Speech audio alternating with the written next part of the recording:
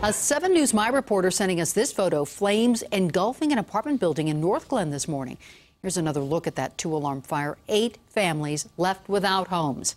7 News reporter Lindsey Sablan talking to one of them. And Lindsey, they were celebrating a birthday when they smelled smoke and the Robles family was singing happy birthday. They were deciding what flavor cake to make. When they started to feel heat coming from the apartment next door, they quickly ran out of their home that's on the top floor of this unit and watched as their house burned.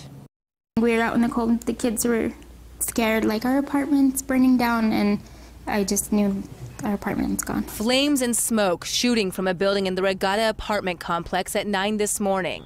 Esperanza Robles says she felt heat coming from next door and within minutes, a cloud of smoke.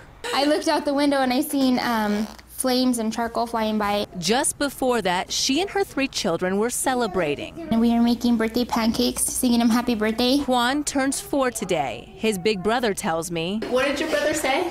He said, our, our house burned down on my birthday?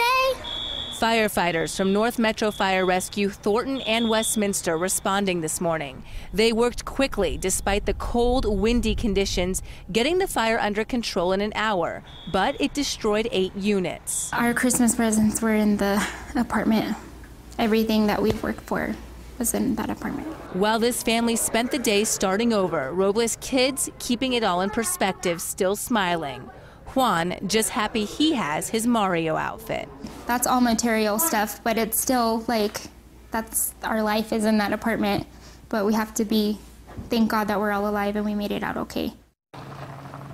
Now, investigators are still trying to determine what caused that fire in the initial apartment. Again, eight people on this end of the building, or excuse me, eight families on this end of the building, having to find new homes tonight. The apartment complex actually had enough open apartments to put them up. Meanwhile, the Red Cross provided some food and some clothing and furniture for the families until they're able to get all of that.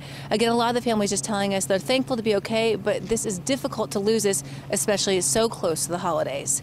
Live in North Glen, Lindsey Sablan, 7 News. News.